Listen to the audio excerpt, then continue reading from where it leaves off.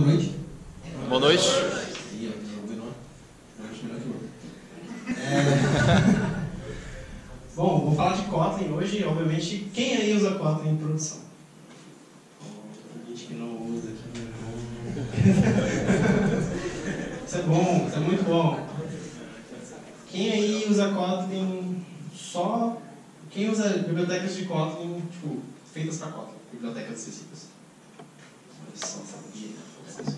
Então, a ideia, desse talk é falar um pouco sobre Kotlin no contexto além do óbvio, né, que é só usar para programar diariamente. Como é que a gente pode construir ferramentas e usar Kotlin num contexto um pouco mais é, de camadas. Então, eu posso usar Kotlin em camadas de, de rede, de UI, de testes. Então, a minha ideia é falar um pouco sobre como você pode usar Kotlin além de só codar suas activities e tudo mais. Beleza? É, isso sou eu, quem me conhece, Bruno Carvalho. É, esse é meu Twitter, quem quiser me seguir lá. E eu estou especializando um pouquinho na log, tem uns quatro meses, mais ou menos. Também cuido da parte de, de comunidade também da log, como Community Ambassador. Então, quem quiser fazer evento aqui, fala comigo. Faço parte do programa de experts do Google, tem uns três anos. É, quem quiser saber mais sobre o programa também, mercado se tornar de ideia e tudo mais, fala comigo. Somos quatro no Brasil, eu, Quinta, Nelson Glauber e o Miratã. Miratã vocês conhecem, né? Miratã organiza o evento é, Quem está no Brasil BR É... Android MBR é a maior comunidade de Android no Slack do Brasil, somos quase 5 mil pessoas lá. É, obviamente tem todo mundo é ativo, mas é um lugar que todo mundo se encontra para postar dúvidas e tudo mais, é um lugar muito bom. Quem quiser falar sobre slides lá, sobre os toques, pode falar lá também. Também organizo o 4 Meetup São Paulo, quem quiser palestrar, por favor. Precisamos de palestrante. tá difícil, tá difícil. Tem Sério. Hã? Kotlin Meetup São Paulo, se jogar no Google, a primeira coisa que aparece. Mas assim, na página meetup.com é kotlin-meetup-sp. Beleza? E também sou mentor do Launchpad Accelerator, que é o programa de startups do Google. Também quem quiser saber mais sobre, tiver startup, quiser aceleração, blá blá blá, pode falar comigo. Beleza? Bom, contexto desse talk que eu vou falar aqui hoje, né? Fato. Fato, né? Kotlin veio pra ficar. Quem discorda? Quem discorda, porta tá. Mentira. Isso aqui é um gráfico que mostra, né, do ano passado, do Stack Overflow, do Developer Survey, desculpa, desse ano, que o Kotlin foi a segunda linguagem mais amada, só perdeu pro Rush, né, né Gabi? Gabi adora o Rush, nossa dev aqui na, na nova. É, mas você vê, o Rush aqui está 60%, o Kotlin foi 75%, ou seja, está ali muito bem, passamos Python, que foi bom. Então, Kotlin é uma linguagem muito querida pelos, pelos desenvolvedores, né, é um fato. Então, Kotlin não só para os desenvolvedores, mas para os desenvolvedores Android. Né? Kotlin Android realmente veio para ficar. Então, o Google adotou como linguagem oficial e isso ficou. É. Como é que a gente usa Kotlin na nossa aplicação hoje? Como é que a gente faz? É só assim? Será? Tá. É uma classe Java, converte para Kotlin, está de boa. Não, eu, eu falo porque é muito comum. É muito comum. Você pega um dev que é Java, um profissional é, desenvolvedor, seja de Java, vai para Kotlin, ele faz tudo igual, assim, um zip lá, igual a nu, mesma coisa. Então, assim, é meio isso, né? é filho meu, é bom, tá usando Kotlin, né? Então, tipo assim, o filho é meu esse, né? Então, será que a gente pode ir mais longe com Kotlin, além do óbvio, né? A gente só codar com Kotlin. A minha ideia é essa, o contexto é esse. Então, eu vou falar um pouco de oportunidade, tá? Onde é que a gente pode usar Kotlin na nossa aplicação? A gente pode usar em várias camadas. Tem gente que acha que não, mas vou mostrar que sim. Beleza? Eu fiz aqui um. Dá para falar mais, mas para esse talk eu botei 5, tá? Um geralzão, posso usar Kotlin na aplicação como um todo. Para parte de build também, posso, sim, posso usar, configurar é, scripts de build com Kotlin. Parte de UI, construção de interfaces, posso usar Kotlin também. Parte de assincronismo, né? Que provavelmente vocês já estão imaginando o que é, mas dá para usar Kotlin também. E testes. E a ideia é falar um pouco dessas livros aqui. Falar um pouco de Android de KTX, que é do Google. Falar um pouco sobre Gradle Kotlin DSL mais o Detect, com ferramentas para build. Falar um pouquinho por alto sobre Anko e Kotlin Extensions, que é o Kotlin X. É, coroutines. E a parte de, de testes, falar um pouco de spec e mock. É, alguém não conhece alguma dessas coisas? Quem não conhece alguma dessas coisas? Não. Bom, então eu tô aqui vai ser hoje. não, brincadeira. Então a ideia é falar um pouco assim, sobre você pode usar Kotlin em geral. É, eu pensei em falar um pouco sobre Database Injection também, mas é um tópico que vale um talk inteiro, então acho que nem vai caber aqui, então fica para depois. Beleza? A cabeça fica assim, né? Você fica, posso dar Já cota temos mais uma talk, é isso? Ó, ó. Eu quero. Boa. E aí quando você fala assim, putz, posso usar cota em vários lugares, você fica meio assim, né? Putz, cara, posso usar cota em- Você fica meio pensativo então beleza. Essa é a ideia. Então tá. É, Quem usa o KDX? Quem conhece o KDX? Olha só, gente, vocês estão muito modestos. O KTX é um conjunto de extension functions que o Google criou, inclusive os develop- developer advocates do Google criaram, com o objetivo de facilitar o desenvolvimento Android. Então, assim, a ideia toda, né, um dos grandes, um dos grandes benefícios do, do Kotlin no Android é o conjunto de extension functions, que é uma feature bem conhecida em outras linguagens também, mas que no Android ela pode ser muito bem explorada. Inclusive, uma coisa que eu estou vendo muito é as, as pessoas começando a usar menos bibliotecas e usando as bibliotecas padrões do Android, tipo HTTP Connection, com DSLs, entendeu? Usando tipo, menos libs e mais language levels, é bem legal. E o KDX, na verdade, ele é open source, né? o Google criou, ele é open source, você pode contribuir. Inclusive, tem bons pull requests lá, o pessoal fazendo extensões para Firebase, coisas do tipo. Quem quiser olhar, é o Android, é github.com android barra android KTX. Esse aqui é o projeto. É, vocês conseguem ver aí atrás na, TV? Dá pra ver, né? Ele, é dividido assim, né? ele tem uma série de, de packages. Todos esses packages eles têm é, razões específicas. Né? Então você pode usar é, extensões para a parte de core, a parte de fragment, palette, se alguém ainda usa palette, que é uma limitação de cores no Android. SQLite também, parte de collections, né? você pode usar. A extensão de library do Kotlin é muito boa já para collections, é muito bom, mas tem algumas extensões aqui extras. É, Lifecycle, as coisas do Architecture Components, né? do Jetpack e tal. Então tem bastante coisa. Né? A fonte lá é do, do próprio repositório. É, então como é que faz para usar? Para usar esse projeto, tão simples quanto eu adicionar repositórios Google lá no meu vídeo.grão raiz, meu projeto. É, colocar minha dependência lá, androidx.core, dois pontos, core traço ktx, minha versão. Eu acho que ele não está em ponto zero final, mas tá para ficar, se eu não me lembro bem. É, e aqui é um exemplo de como você pode usar o, o KTX no dia a dia. Né? Supondo você fazer um DB transaction lá, para super simples, bem straightforward, assim, bem direto. É, essa aqui é a forma lusitana, diria, de fazer, né? a forma normal né? que, o, que a documentação sugere, mas o KTX ele faz para você, né? ele consegue colocar isso no DSL e consegue deixar só o transaction ali disponível. Aí você fica, putz, mas como é que ele fez isso? Né? Tipo, como é que mágica que ele fez? Né? É tão simples quanto isso, né? ele pega é, quem, é, quem é iniciante em Kotlin? Está começando? Tá. Beleza. Só que tem umas coisas aqui que, é, para explicar, né? Sim, parece que é, é, muito avançado. O Kotlin tem esse conceito de inline function, né? Que você consegue é, fazer esse, esse padrão de função inline. E aí, ele faz para qualquer tipo genérico aqui, né? De T.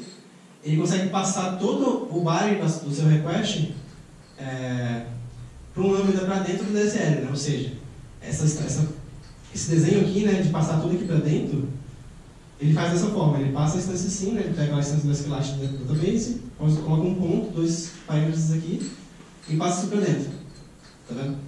E aí, a forma que isso é feito aqui, ó, ele, ele seta esse valor aqui, né, essa coisa num body, ele usa esse body aqui dentro, tá vendo? Ele só meio que faz esse wrapper em volta do DB Transaction, mas Perceba como é que é poderoso você fazer isso usando, usando DSL, fica bem mais bonito. Né? Beleza, isso aí bem direto, né? bem tranquilo.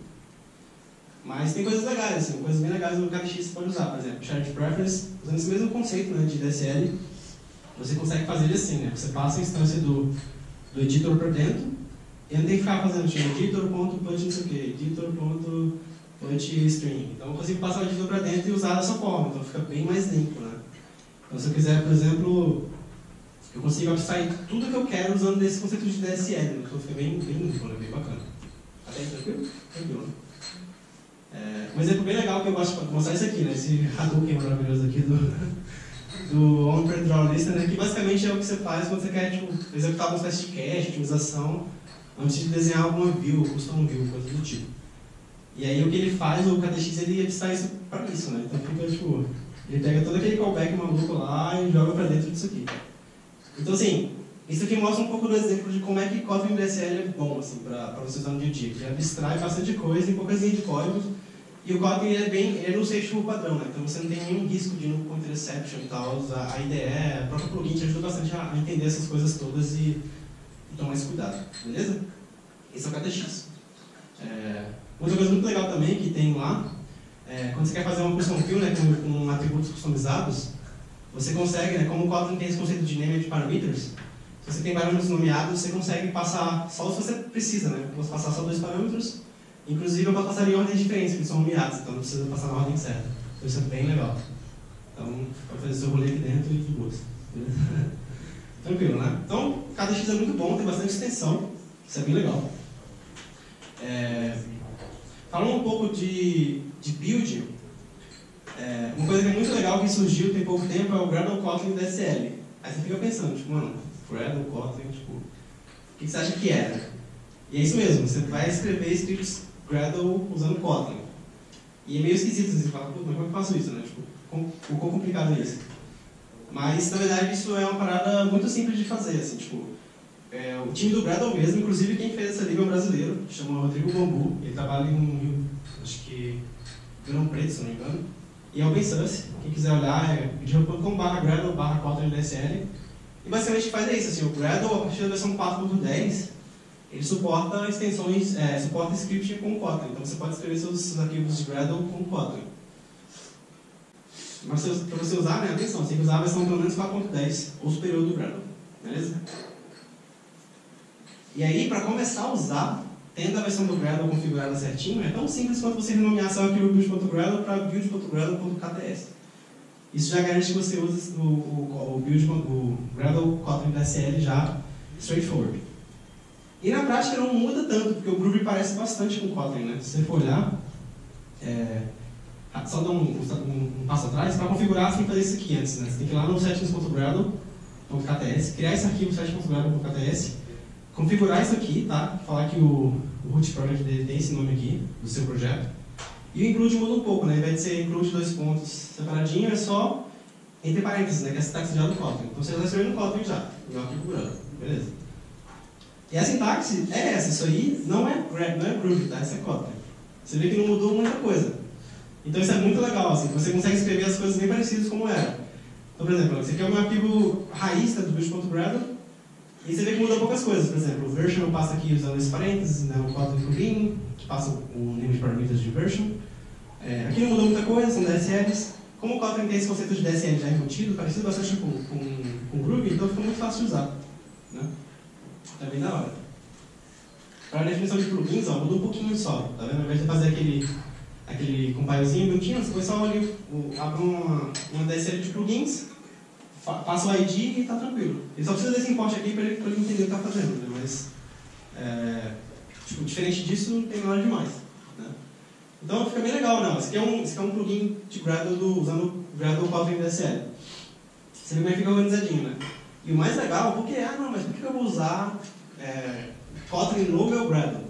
Porque você pode usar tudo que tem de poderoso do Kotlin no Gradle. Então, assim, eu posso criar todo o meu scripting, todos os meus métodos complexos, tudo que eu faço já usando Kotlin, minhas extension functions e todas as, as palavras que eu já uso de lib e tudo mais, no Gradle. Então, fica muito mais organizado e você consegue aproveitar bastante da linguagem em si, né?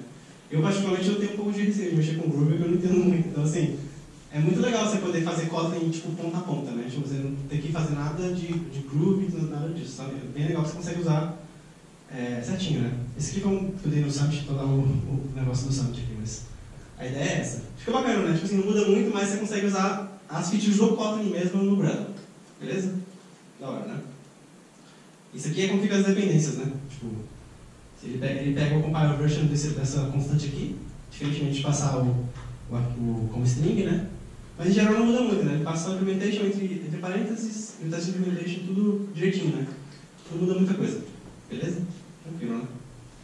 É, um ponto importante que tem que botar nessa opção aqui, Configure on Demand, desabilitar isso, tá? Na hora de você fazer lá suas preferências, porque isso acaba quebrando algumas coisas.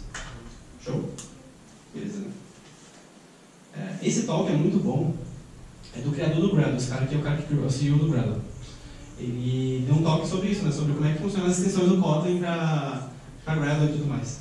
Beleza? É, detect. Alguém, alguém, usa, alguém sabe o conceito de análise estática de código? Já usa, já conhece? Então, a ideia do Detect é isso, é você fazer análise, análise estática de código para Kotlin. É, a ferramenta de análise estática de código bem completa, customizável, boa para você fazer pipelines de continuous delivery, continuous integration em geral. É, e para que serve isso, Para quem não sabe o que, que é. A ideia, sabe quando você vai lá no pull request e fica, ah não, essa linha aqui não precisa, esse espaço aqui, tem espaço no if, depois o if, não sei o que, não sei o que. Essas coisas que a gente perde um tempo revisando e não serve para nada. Toda essa análise de, tipo, de, do que um código bom é, é de fato, o Detect faz para você. É, para quem não sabe, a lida é essa aqui, né, github.com barra arturbot, alguma coisa do tipo, barra detect. Tá, eu passo os slides para vocês.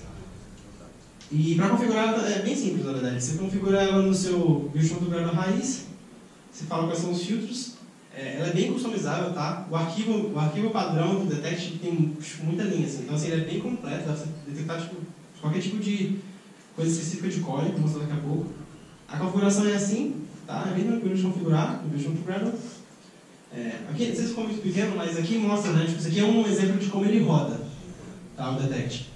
Então ele faz análise de code smell, análise de comentários, complexidade de código, é, por exemplo, eu tenho, eu tenho um método que tem um parâmetro, esse parâmetro não é usado dentro do método. É, ou então, por exemplo, ele tem, sei lá, uma classe com muita linha, sabe? sei lá, eu tenho o meu adapter aqui que tem 600 linhas, tipo, não, não precisa de tanta linha. Então, todas as análises de código geralzona assim ele faz. Então, por exemplo, é, eu faço uma classe aqui que é uma activity, ela tem mil linhas, tipo, já bloqueia, fala, não, vai nem passar SPR, já, já arruma aí tá errado. Sabe? Então o Detect faz análise de código estática mesmo, assim, pega o código, passa, passa um monte de regra, de, um monte de regrinha em cima e pode falar várias coisas, assim, tipo, ah não, é, você está usando, a gente faz interface aqui chamando é, IMP, né, e MPL no final, ao invés de só implementation como nome tudo. Então você está errado, então já bloqueia. Então você define um monte de regra para o seu, pro seu, pro seu código e analisa tudo e te dá um reporte. Então se o código estiver batendo com essas regras, de boa. Tem para tem outras ferramentas também para web e tal, bem comum. Tá? É, o mais legal do Detect é que usa, ele usa arquivos de configuração YAML, né, que é bem conhecido na comunidade já, JavaScript usa bastante. Então os arquivos são meio assim, né? O arquivo do Detect é isso aqui, ó. Eu peguei só alguns pedaços no começo, tá? Tem bastante coisa, é imenso. Esse aqui é o arquivo default, né? Do, tá no GitHub, por exemplo. Se procurar esse arquivo aqui, default, traço detect, traço config, YAML. Ele tem várias coisas. Você pode falar assim, ah, não, eu quero, tá vendo? Que uma linha não passe do máximo de 80 caracteres. Então eu posso falar que é, tá too many functions. Tem um monte, tem um monte de configuração legal. Tá? Eu posso criar uma espécie de. Tá vendo aqui, ó? Arquivos de teste não pode terminar com nada exceto teste ou spec. Então qualquer coisa diferente disso ele já reprova seu PRE. Então, é exemplo de coisas que você pode configurar para Kotlin especificamente. Tá? Ele, pega, ele entende código Kotlin em geral. É, então, por exemplo, tá vendo aqui, ó, eu tenho, eu tenho parâmetros muito longos e, sei lá, o estilo é diferente. Ou então, sei lá, é, configurações específicas de complexidade de código. É, tá vendo aqui, comentários sobre funções privadas. Tem uma série de coisas de configurações que você pode botar no seu projeto, Kotlin, e isso aumenta bastante a qualidade. Você somar testes unitários com testes instrumentais, mais um detect desse, você garante que todo o PR tem essa qualidade elevada. Assim. A gente quer botar isso aqui na, na, muito em breve, que é bem legal. Assim. A gente não tem muito Kotlin hoje, mas o plano é crescer bastante nesse aspecto. Deixa eu te perguntar. Oi. Tem alguma integração com o Android Studio para que ele ofereça formatações com base nisso daí? Tem plugins, mas não sei se são oficiais, mas tem plugins. Dá para fazer o esporte bonitinho, com um arquivo também. Então, assim, ele já fornece tudo. Você pode pegar isso aí, inclusive fazer um SH e exportar onde você quiser. É bem completo. Assim. Então aqui vou ter alguns exemplos que ele pode fazer, né? Análise de mel, complexidade, legibilidade, disparar exceções, sei lá, fazendo um método aqui muito, é, sei lá, parece um pouco inseguro ele está disparando um exception. Não tem um throw lá nem nada, então já bloqueei. É, formatação de código, nomenclaturas. É, o Detect ele integra com uma ferramenta chamada Ktlint, que é um, um linter né, de Kotlin também. Você pode configurar essas coisas todas, assim, tipo espaço, quatro espaços, dois espaços, nome de é, DSL com, com espaço diferente, sabe? Essas coisas também. É, code style, linha de blocos vazios, padrões de teste e tudo mais. Então é bem completo, assim, dá pra você fazer tudo. Assim, acho que vale a pena olhar e botar no roadmap, assim, tipo, no, futuro. E também, como eu falar, tem um plugin Android Studio para ele. Então, já integra direitinho com a sua ferramenta que você está usando. Beleza? Tá aí? Show. Esse é feito para Kotlin especificamente. Para Java já tem bem, bastante ferramenta já, tem o SonarQube, tem ferramentas bem famosas já, já. Jacoco também, Code Covers tem ferramentas já muito boas para Java, já para analisar de código.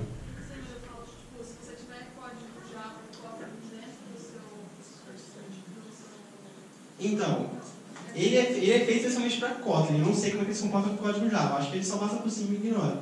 Porque todas as checagens de, de qualidade já são feitas para Kotlin, né? As, os rule sets são feitos para Kotlin. Eu acho, eu nunca testei, sendo bem sincero. Ele ignora, né? Tá, então vamos saber. É... Mas assim, nunca... Oi? No caso, é, se eu não tiver um source set só com código Kotlin lá e tiver misturado ele também... Eu acho que ele dá mais pés. Eu acho que ele dá mais pés. Você separar no source set Kotlin? Não, não. Então. É, assim, do que, do, dos testes que eu fiz, eu, eu não levei em conta Java, assim, só levo em conta assim, das minhas, das minhas classes Kotlin, quase que ela pega e quase que ele leva em conta. Então, assim, para análise de code cover, essas coisas, acho que até vale a pena separar, assim, pode fazer pipeline específico para projetos para a parte de Kotlin e para a parte nova. Pode ser uma boa ideia. É, beleza, falamos de DSLs e coisas de build. A construção de UI, é, tem o Anko. Quem conhece o Anko aí? Ele é bem conhecidinho. Assim, foi, a primeira lib famosinha de Kotlin que saiu assim. É, é uma biblioteca voltada para construção de UI, mas ela faz algumas coisinhas diferentes. Assim, né? que ele fala que ela facilita o desenvolvimento de interfaces para Android, sem necessidade de escrever XML, que é um negócio bem interessante. E tem umas coisinhas mais que ela faz também hoje, assim, hoje em dia. É, ela foi feita pela JetBrains, inclusive pelo time do Kotlin, meio que com mais um showcase assim, que dá para fazer com a linguagem, que é bem legal. É, e para você usar é tão simples quanto você, você implementar uma lib, né? Você vai lá, implementa uma libzinho, passa o version e é de boa. É, aí o, Anko ele tem esses quatro macro repositórios, né? Tem o Anko Commons, que é tipo métodos que, são providos para todo o Anko em geral.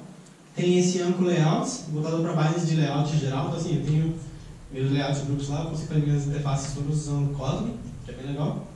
Tem o Anko Coroutines, que são callbacks para coroutines em geral também. Eu acho que não precisa, coroutines é muito bem resolvida já, eu não usaria isso aqui. É, e o Anko SQLite também, que são alguns helpers para SQLite. É, eu vou focar nos dois primeiros. Vou focar só nesses dois aqui, tá? No Anko Commons e no Anko Layouts. Tá? Aí, além dessas coisas, também você pode fazer repositório, tem repositórios específicos para tipo card view, é, recycler view, coisas do tipo, assim, tem helpers para cada, cada uma dessas views, né? É, então isso aqui é a forma que você declara, tá vendo? O Banco Commons, você tem aqui, é, ela, ela é bem granular, assim, você pode usar só uma parte específica da então é bem legal isso. Você tem lá o Commons, você tem a parte de layouts, que ela é, inclusive, feita para cada versão, então se meu target é 25, 23, eu posso fazer usando target específico, né? então aqui eu também não, tem 25 e tudo mais, posso passar o SDK específico delas, tá? É, aqui tem os callbacks para o coroutines. Eu confesso que eu, que eu, não usei isso aqui para teste, mas está é, tá disponível, quem quiser testar. E a parte da SQLite. É, esse aqui é um exemplo bem chulo de como é que você faz uma interface usando o Angular. Tá? Bem simples. Mas é legal perceber como é que é construída a DSL. Né? Você vê que ele faz toda essa parte de view group sendo um, um, um, um uma DSL macro aqui, né? uma interface de chaves e aí tudo que eu vou fazer lá dentro eu faço usando, usando mesmo os, os setando os valores, né, das minhas properties. Então padding vai receber um, um DPI tal, o list text recebe um hint. Você vê que é bem direto assim, a construção de layout, você não tem que fazer nada muito complexo. Se você não gosta muito de coordinator, de, de constraint layout, também não precisa ficar perdendo muito tempo ajustando aqueles, aqueles constraints e tal. Tá bem, é bem legalzinho, assim, bem bacana. Certinho até aí? De boa, né? Bem legal. É, outra coisa legal, você consegue, tipo, eu tenho um layout específico, eu quero fazer os parâmetros a nível global de layout. Então eu posso passar, tipo, esse L parâmetros aqui que ele entende como é que funcionam as coisas, né? Então você passa assim, ah, eu quero que a largura seja o content e se eu não passar o default vai ser provavelmente match, match part. Então eu falo que a margem é tal, top margem é tal, então assim, é bem organizado, você vê que tem vários tipos, né? E é legal que ele suporta também constraint layout, você pode definir os parâmetros de constraint layout já usando o Anko, que é bem bacana. É, outra coisa, uma coisa bem legal que eu descobri esses dias é isso aqui. Ó. Você tem esse esquema de, por exemplo, eu quero fazer uma mudança de texto em todos os textos num, layout específico. Então você pode aplicar recursivamente, usando esse, esse, essa DSL Apply Recursively, para quando for uma view, a view for uma de texto, você faz uma coisa específica. Então ele soma um monte de coisas legais no Kotlin. Né? Ele soma as DSLs, soma o lambda aqui, tem o N aqui dentro, embutido aqui, escondidinho, e aí o N já checa a tipagem aqui do, do da view, você vê que é tipo, muito completo, né? Essa soma de um monte de boas features do Kotlin nesse contexto de, de desenho de layout, né? Assim, eu particularmente sou bem... É, gosto bastante de desenhar com XML, aquelas coisas bem tradicionais, mas isso é uma boa opção, assim, eu, eu, eu torci um pouco o nariz, mas pra quem é Android assim, mais antigo, vai entender que isso aqui tá- é bem legal. Da hora, né? É, uma coisa legal que também está vindo no Anco recentemente é essa coisa de disparar, é, disparar dialog, touch, snackbar, que são coisas que todo mundo tem uma DSLzinha lá para disparar essas coisas e, e, sempre é bem útil, né? Então, por exemplo, eu quero mostrar um touch, eu posso só, tipo, tão simples quanto dar um touch. Então, eu quero fazer uma snackbar com action, já tem já o, o formato certinho, né? View, que vai receber o container dela, a minha action, o meu, meu texto e a minha texto da ação. E já é o callback do botão, eu clique. Assim, você vê que é bem tranquilo de fazer, né? Tipo, bem arrumadinho, um bom desenho. De novo, a ideia não é sair dando esse monte de dica, é você entender como é que funciona e aplicar essas coisas no projeto. Né? É, e o Amp também tem um suporte, tem um plugin. Esse plugin é meio bugado, ele não funciona muito bem, que é o plugin para preview de layout, né? É, eu não sei, eu não, eu não, eu não sei se ele está sendo desenvolvido ainda. Ele está bem, acho que é de maio, último PR, mas ele é um bom, ele é um bom plugin também. Beleza? É, quem conhece o, o Kotlin X, Kotlin X? Boa. O Kotlin Android Extensions é, é, basicamente uma abstração do Find by ID, né? Aquela coisa que a gente usava lá, o Butter Knife, essas coisas todas, o Kotlin Extensions já abstrai pra gente. Então, isso aqui é também o livro da JetBrains. Tá? tá lá, inclusive, ela é embutido na, na linguagem já, você pode usar já direto. É, você tem lá um plugin, né? ela é disponibilizada como plugin, então é um pouco mais tranquilo de usar. Peraí, rapidinho.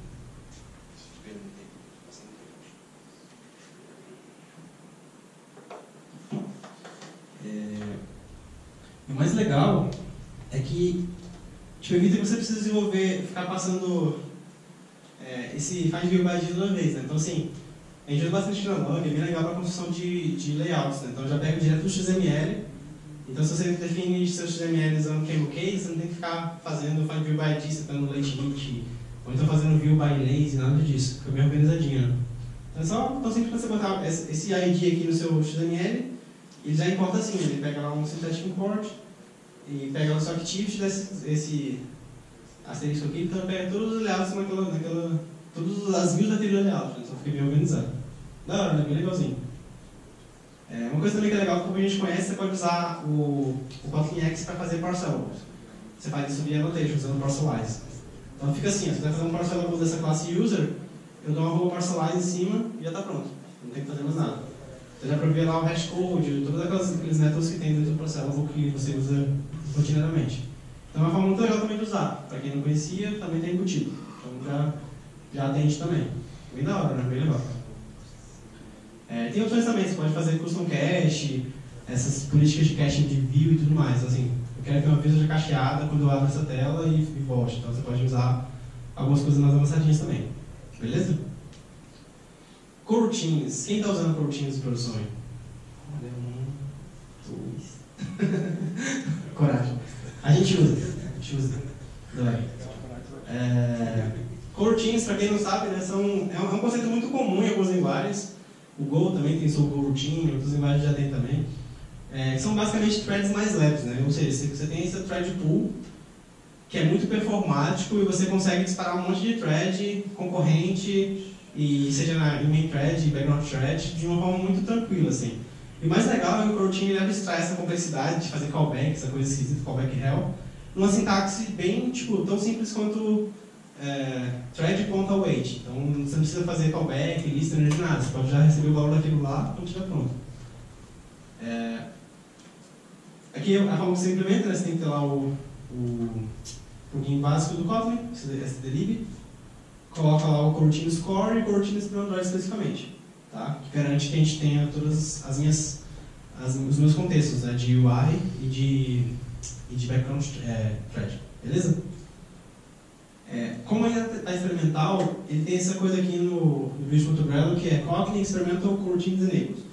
Na versão 1.3 do Kotlin, é, o ser, vai ser mediado na linguagem. Então, isso é uma boa vantagem. Quando está em 1.3, está na versão é, MC2, quase para ser lançada na versão final do, do release. Mas tá, é isso aqui. Daqui a pouco você vai subir, não precisa mais fazer experimento, beleza? É, então, basicamente, uma coroutine, definir uma função como coroutine, ela tem essa coisa do suspend antes, né? A sintaxe é essa, marca essa chave como suspend. Então, acabei não botando aqui, mas Você tem uma funçãozinha, e qualquer função que seja assim, que você põe esse suspende antes. Tá? E para você usar ela, ela fica assim, né? Então, por exemplo, se eu quero usar a minha. Eu quero fazer que esse, essa imagem aqui, esse load async aqui, seja uma coroutine, quando eu passo um suspend naquela função, ele faz isso aqui, né? Ele faz, é, eu chamo a função ponto await. Né? Então isso aqui já garante que ela vai ser rodada sincronamente e quando essas duas funções terminarem de rodar, ela vai sentar o overlay. Então eu não tenho que me preocupar de fazer isso e quebrar e nada disso. Então a sintaxe é bem limpa, né? Você vê que eu tenho duas sequências síncronas aqui, eu já aplico eles direto lá como parâmetros e aqui dentro, ó, esse launch aqui também é uma coroutine, eu vou explicar daqui a pouco. Mas eu pego a resposta dessas, dessas duas coisas aqui uma terceira, então eu dou assim que eu relay ponto await, então já é um outro fallback. Então é uma forma bem, bem orgânica de construir coisas assíncronas, fica bem, bem limpinho. Né? Então, o launch né, é a maneira mais simples de se criar um routine, uma thread em background. Ele tem esse job né, como referência dele, então acaba que facilita bastante, você pode pegar esse job e controlar depois. Então, por exemplo, é, a, o próprio launch por baixo, o dele é isso aqui, né? ele tem esse contexto, né? e o contexto padrão é esse default aqui, default dispatcher. Posso passar o contexto de UI ou de background. Eu posso passar também esse, esse, esse coroutine start também, que é o, como eu quero começar ela. Tem vários tipos de, de start de coroutines também. Também posso também ter esse, esse esquema de job é. Eu posso ter um job que tem um job como filho e tem outro, e essa cadeia ela pode existir também. E também tem esse scope aqui, né, que é justamente esse, o que, que vai dentro do, do meu coroutine. Então, no caso aqui, o launch, ele retorna esse job. Então, eu posso controlar esse, esse job de alguma forma. Posso dar suspend, checar se ele está ativo e tudo mais. É... E a gente tem outro conceito chamado async, né? Que é essa coisa de você, ao invés de retornar um, um job, ele retorna tipo um observable. O nome é deferred aqui, mas eu tenho um talk do criador do Routine que fala que só usou o nome deferred porque o observable já é conhecido pela RxJava, eles não queriam usar um nome parecido. Mas é a mesma coisa, tá? É como se fosse um observable do RxJava. É um é um callback observável, né? você pode fazer map reduce e todas as outras coisas lá dentro. Então a diferença é essa. Então assim que tem essa estrutura aqui de deferred, né? E a gente vai falar mais de deferred no futuro, mas é bem parecido os dois. Tá? Daqui a pouco você vai questionar deles também na prática. É, esse coroutine context aqui diz respeito à, à thread que ele vai rodar, né? Sem background, né, que é esse common pool. Então, vai rodar o background joga esse common pool, que é um, é um pool de thread global ou em UI, né? Então, assim, para o Android é importante tomar esse cuidado de não rodar coisas muito pesadas em UI. Então, tem essa separação que é muito boa. Então, a diferença né, do deferred para o job, nesse caso, é que ele tem essa coisa do, do da promise, né? Ele, ele, retorna só essa... Ele tem a promise de entregar um valor em breve. Né? Então, ou seja, resumindo, para não ficar muito, muito difícil de, de explicar. Você tem uma assim, você tem, você tem a mesma funcionalidade do launch, só que ele tem esse await aqui dentro do, dessa, dessa resposta aqui, né, do await. Então, tá vendo? Nesse caso aqui, eu poderia fazer dessa forma, ou assim, tá vendo? O meu get user é um async, que faz um get user qualquer, e ali essa sintaxe de await, tá vendo? E o launch não, ele não retorna nada se eu quiser. Então, se quiser alguma coisa sem callback, pode usar o launch, beleza? E também tem como fazer operações rodando tipo run blocking, isso é um para teste. Então, se eu quero fazer uma operação que eu quero parar minha thread para rodar alguma coisa, depois executar outra, eu posso fazer run blocking. Você não pode fazer teste unitário, teste de UI também. Então posso fazer delay também, que também é um coroutine, tá? Quem instala depois do código também é um coroutine. É, e aí a diferença do deferred para o job, só para ninguém dormir no talk, é só que um deles ele pode ser cancelado, ele tem um pouco de estado também. Então assim, eu posso pegar esse job, tá vendo? O launch ele retorna no job, então eu posso checar se o job está ativo para cancelar ou não ele, se eu quiser. Então é uma, uma opção também. Beleza? Então, resumindo, né, para ninguém dormir. Se eu não preciso de um callback explícito, eu posso usar o launch. Então, eu quero rodar uma coisa em background ou em UI, uso o launch. Se eu preciso de um, de um observer, né, de um deferred, eu posso usar o async. Então, se eu esperar um callback específico, né, eu preciso de alguma coisa, eu posso usar esse aqui. Se eu preciso bloquear meu thread, eu uso o runblock, mas para Android não recomendo muito. É, coisas bem legais estão rolando. O nosso amigo Jake Wharton, ele criou um adapter de coroutines para retrofit. E fica mais ou menos assim. Né? Você pode usar esse adapter aqui dentro do call adapter, aí você tem um adapter factory, e dentro lá do, do seu serviço, ao invés de você esperar um call ou observable, você espera um deferred. Então fica bem legal, fica bem organizado para quem usa retrofit e tudo mais, bem bacana. Dessa forma. E, inclusive, ele falou que isso aqui vai entrar no retrofit assim que o coroutine entrar no, no Kotlin. Então, assim que um for, for para produção, esse vai também. Então, é uma boa notícia. É, para quem, quem não conhece Jake Wharton, é ótimo. Pra quem... é, Wharton é um cara trabalha no Google, ele é super foda e faz várias coisas para Android. E, então, assim, é, é, legal ter isso no retrofit, assim, oficialmente, né? Então, é um bom sinal e é uma forma de também puxar o Core Jeans para cima, né? Então, bacana. É, enfim, para acabar, porque o Júlio está querendo já me matar aqui. Fique à vontade. Vamos falar de teste agora, né? Tem essa ferramenta de especificação de teste chamada Spec. Quem já conhece o Spec? Boa, o Spec é muito bom. A gente usa também aqui na aula. É, o Spec framework de especificação de testes para TDD e BDD, então eu posso escrever testes no formato meio natural language. Assim. Então, é, para quem não conhece, isso aqui é o repositório do GitHub, Spec Framework, barra Spec, quem quiser olhar. E é tão simples quanto um plugin, né? Agora essa versão nova dele está usando como plugin. É, você tem esse plugin aqui do, do GM5, né? Que ele criou. E aqui você tem é, as DSLs em si, né? Que são, as libs são só as DSLs, mas o plugin já provê isso do nível de, de, de, projeto, né? Então aqui eu ponho lá meu teste implementation, a minha DSL do spec, o meu runner do JUnity, e ele usa o Kotlin Reflect, não sei se isso é bom, mas ele precisa disso para rodar. Tá? Eu não, não senti nenhuma perda de performance, nada disso por causa do, dessa versão nova, mas atende. Tá? É, isso aqui é um spec simples de teste do spec. Tá? Então eu posso rodar testes baseados nesse conceito de grupos. Né? Então eu tenho esse, grupo aqui, e dentro desse grupo eu tenho um teste, dentro desse teste eu tenho meus assertions e tudo mais. Então ele fica essa DSL bonitinha, assim, tudo organizadinho. E aí quando eu vou rodar isso no meu, no meu Android Studio, é, eu posso fazer dessa forma, eu posso definir meus testes assim. Então, essa aqui é a minha raiz de testes. Então, eu posso ter minhas specs específicas por contexto, por view model e coisas assim. Então, eu tenho aqui uma spec de teste, então ele vai printar alguma coisa e isso deve fazer outra coisa. Então, essa, essa árvorezinha fica bem legal, né? Quando você roda, né, fica aquela coisa bem organizadinha, né? Aquelas chaves dos testes, tudo muito arrumadinho.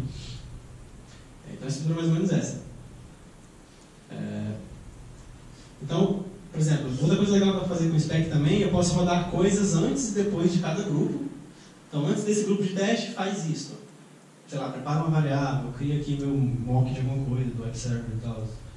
É, então, tá vendo? Antes de cada grupo eu posso fazer alguma coisa, depois também. E antes de cada teste, eu posso fazer alguma coisa ou outra, vendo?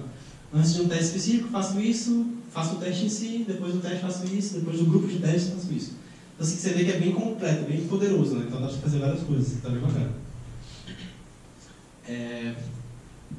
Outra coisa legal é que tem esse conceito de memorize, né, que você consegue, para não ficar especificando, em cada teste que eu vou fazer, especificar que o calculator é um novo calculator, eu posso fazer isso aqui, by memorize calculator. Então não precisa ficar repetindo toda vez, né? consegue desatar uma variável só e repetir essa instância para todos os testes que eu tiver. Então é bem legal também, fica bem organizado. Então um teste na vida real seria assim, então eu dou lá meu. É, meu describe, que é outra opção, faço meu calculator mais e posso usar esse calculator em todos os testes. Então, em addition, subtraction, então todos os meus grupos de testes posso usar o mesmo, o mesmo calculator. Então, fica bem legal, né? E é legal, a sintaxe é muito bonitinha, né? Tipo, DCL, eu passo aqui no teste e tal. E ele monta depois lá a cadeia de testes lá no, no run do, de testes do Android, do Android Studio, na verdade. Bacana, né? Bonitinho, né? Bem legal. É, esse aqui é o spec, bem, bem straightforward. É, uma menção honrosa que eu não estou usando em projetos meus, mas que eu achei muito legal é esse mock, que é uma de Kotlin para mock. Tá? Temos já Mockito, temos libs bem famosas de mock já, mas o mock é uma lib que ela explora bastante as features do Kotlin em si. Tá? Então, suporta bastante o lance de annotation, command capturing e outras coisas mais, assim, então é bem legal. É, até falei brincando lá no, no Slack, no Slack não, no Kotlin Community Summit, que Liga pensando assim com logo bonita, melhor que tem. Pode usar que. Se a logo é feia, não funciona, não precisa nem baixar. Então, essa aqui é, funciona porque a logo é bonita. Então é mock com dois casos barra mock. Então o projeto é nome, organization barra nome igual. Beleza? Projeto tranquilo, né? Também o mock aqui. É, é só a dependência dele, né? Eu, ponto dois pontos. Aqui eu passo depois, mas é bem tranquilo. Mas é legal ver como é que ela é montada, né? Então aqui, tá vendo? Eu tenho o meu mock de um objeto qualquer. E linha DSL específica, tá vendo? Para cada carro que vai para North, retorna ok. Então, assim, é uma sintaxe muito bonitinha de, de mock de coisas. Então, assim, ele provê para mim essas DSLs todas e todas as, essa, essa estrutura de testes bem linear, assim. Então, eu posso fazer teste até em one-liner, então fica bem, bem organizado. Ou então, por exemplo, posso dar esses verifies, meus assertions e tal.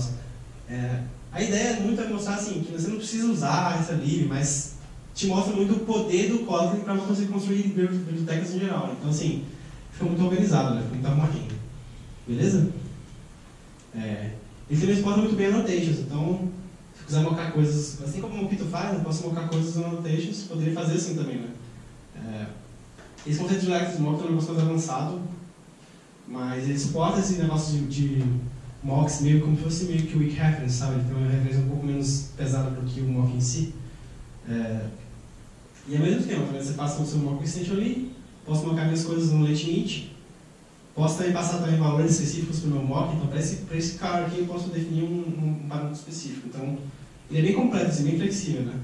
E o meu teste normal aqui embaixo para usar os meus mocks que eu criei. Beleza? Bem, bem tranquilo, né? Bem legal. Beleza? Resumindo, resumindo. falei demais, falei demais. Mas você tem que usar isso tudo no seu projeto? Com certeza não. Não precisa usar todas as libs que eu falei. Mas a ideia principal é você pegar essas libs todas, entender como elas funcionam, e aí dessas boas ideias de cada lib você pegar e aplicar no seu projeto, assim, o que você acha mais interessante. Então, antes de sair usando tudo que eu falei aqui, tipo, olha, com, olha, olha o código-fonte delas, vê como elas são montadas, vê o que se aplica. Às vezes você não precisa nem pegar mas pega só a ideia de como é que ela constrói uma DSL e tudo mais. A minha ideia é, é mais mostrar aqui como é que você consegue usar Kotlin em várias esferas do seu projeto de jeitos diferentes. Então, por exemplo, como é que, como é que se constrói um, uma, um layout inteiro no DSL? Putz, vou olhar lá o código e entender como é que é feito. Então, assim, é só um exemplo do que dá para fazer, sabe? Vendo muita empresa fazendo, fazendo, pegando essas boas ideias e fazendo suas próprias bibliotecas. Construção de. A própria Complete tem uma lib de, de, de, de blocos de, de, de expresso, né, de cappuccino e tal. Então, assim, a construção de DSLs toda bonitinha para você fazer os, os, os matchers e tudo mais. Então, assim, é legal, sabe? Você pegar essas boas ideias e usar, tá? E, basicamente, é isso que eu queria falar. Alguém tem dúvida? Ou alguma pergunta específica? Pode. É, essa mock, como ela se compara com o mock do Kotlin, mais ou menos? Então, o legal, comparado com o Mockito Kotlin, que é uma lib um pouco mais simples, né? Ela tem bastante coisa de Kotlin Kotlin mesmo. Assim. Então, assim, ela explora, ela, ela explora o máximo dessas, dessas features da linguagem. Eu acho que se você já usa o Mockito Kotlin, não vale a pena migrar, assim, eu não diria. A gente já usa aqui também, nem faz questão de mudar, já atende bem, os mocks bonitinhos, então é tranquilo. Mas assim, é igual eu falei, é um lib para você explorar, para você ver como é que funciona e aplicar as coisas legais. Mas você pode pegar a DCL dela e aplicar no Mockito, se você quiser, acho que nada impede. Mas acho que eu não trocaria, acho que elas são equivalentes em termos de lib. É até um pouco mais bonito. não, não é isso. Não, assim, eu, eu só dei, eu peguei o projetinho o sample deles, rodei, vi que é legal assim, explorei um pouquinho, peguei aqui no talk, mas assim, eu não trocaria assim, um pela outra só por capricho, sabe? Acho que o Mockito funciona muito bem, só que assim, o Mockito Kotlin é um suporte de terceiro também, esse aqui é uma linha construída do zero, né? Então assim, talvez tenha boas ideias que funcionem melhor nessa do que no Mockito, mas o Mockito já é bem consolidado, então também é uma boa. Beleza? Mais perguntas? Acho que não. Bom, é, tem os links todos aqui, eu vou pular eles, mas são os links que eu falei todos na, nos slides, tá? É, só reforçando, que você perguntou, né? Código Meetup São Paulo é esse aqui, tá? meetup.com.br Código Meetup São Paulo, quem quiser lá. Por favor, vamos palestrar no Código Meetup São Paulo. Qualquer coisa, pode ser qualquer assunto. Quer fazer um dojo, é nóis. E o Slack no DroidBR, para quem ainda não conhece, é só entrar lá, slack.droidbr.org. Sucesso. Beleza? É isso. Obrigado.